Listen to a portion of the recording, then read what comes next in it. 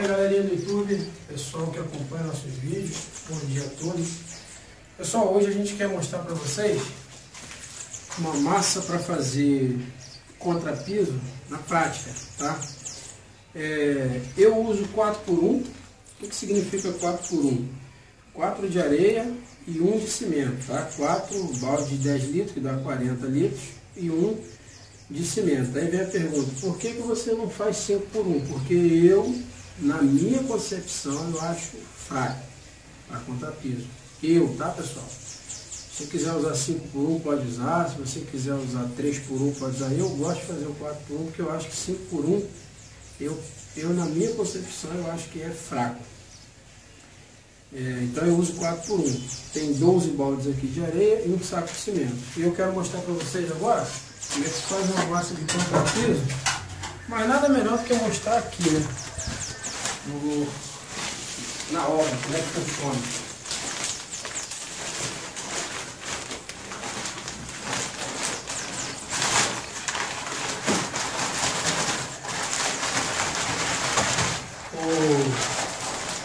É, bom, pessoal, primeiro você espalha cimento, tá? É, tem várias formas de se traçar na mão? Tem. Tem várias formas. Eu diria o seguinte, traça o que for melhor para você. Se você achar que for melhor, você faz.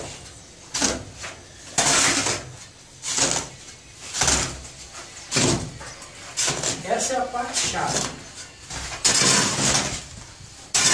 Traçar a massa.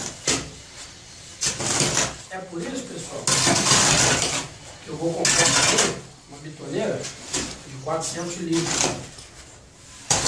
É a minha bitoneira para fazer esses traços, ela já sofre muito. Tem que partir para a munheca. E, geralmente, três tombos já é o suficiente. Para que que você, para que que a gente faz isso? Misturar fique por igual. Agora, ó, segundo tomo. Agora no terceiro tomo, é um macete que eu aprendi quando era criança, ó. Pega aqui, faz isso aqui, ó, ó, ó. Tá vendo aqui? Ó. Vai devagar pra vocês verem.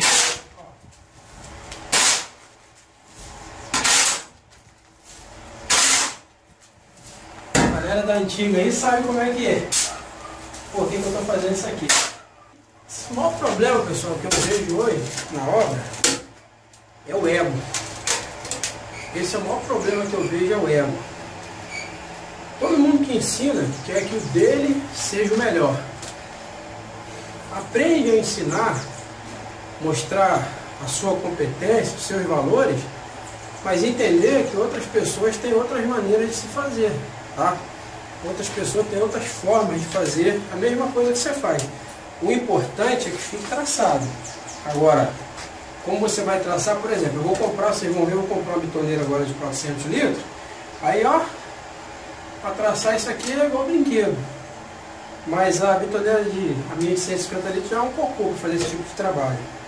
Então, assim, aprende a, a fazer um trabalho e respeitar os outros profissionais. É, ontem eu recebi um telefonema de um mestre-obra, ele é projetista, Wagner. E rapaz, ele ficou conversando comigo acho que uma hora mais ou menos.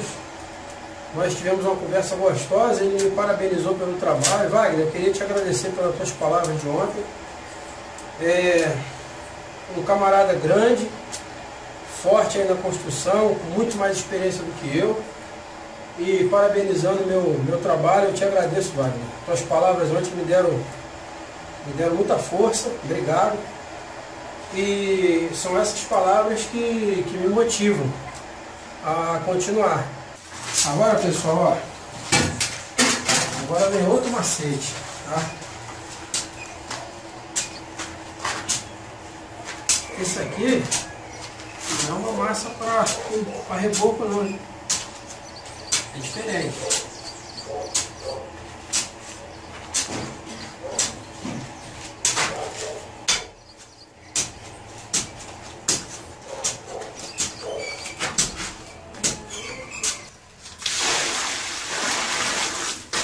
Aqui pessoal, joguei dois baldes de água, tá?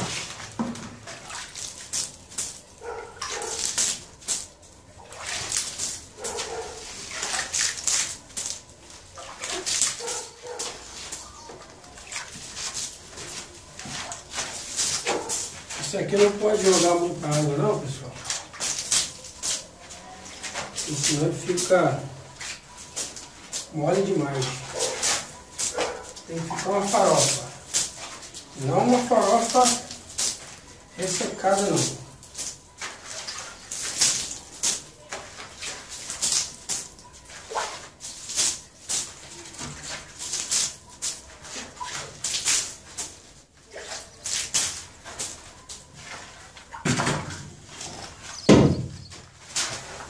Agora, você vai fazer isso aqui, ó. Cortando, tá? Igual se fosse... Igual se fosse fatia de... De bolo mesmo. É isso, mestre? Isso.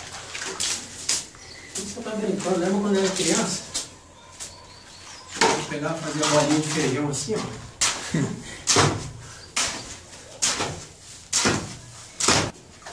A pergunta é, por que não pode fazer mole? E se você fizer mole, na hora de você sarrafiar, a massa vai ficar afundando.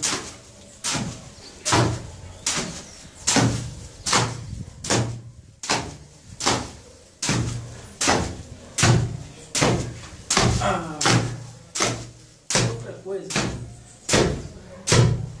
tem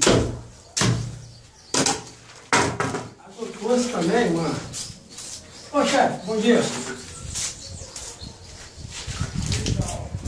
Água doce também, uma algumas medidas para fazer outra piso. Tem gente que bota bota nata de cimento no fundo. Pessoal, nata de cimento é quando, quando fica nata de cimento é para ficar bem fininho, tá? Às vezes contrapiso de, de um centímetro, aí você bota nata de cimento. Agora, do jeito que está aqui, não há necessidade, só molhar o chão.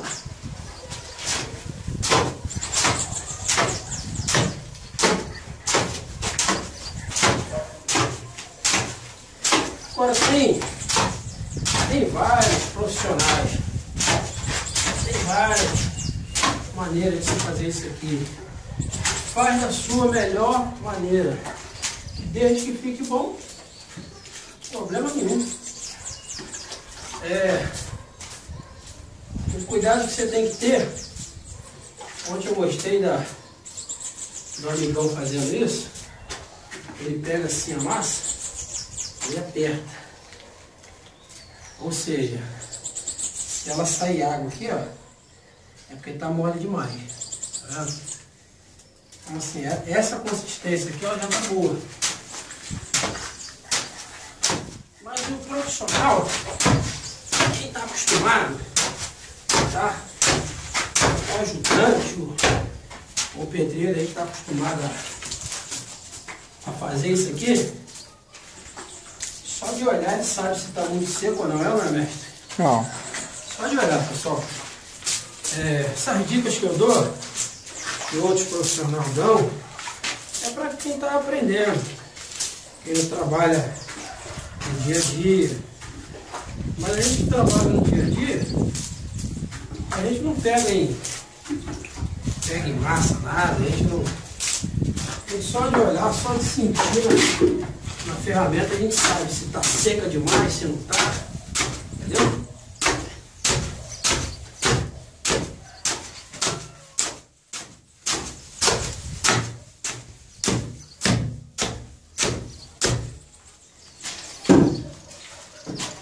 As minhas dicas, elas são muito para quem está iniciando, né? Quem já sabe pode até ser que aprenda aí alguma coisa, mas... Aí você uma borrifadinha de água aqui, ó. Aí pessoal, ó.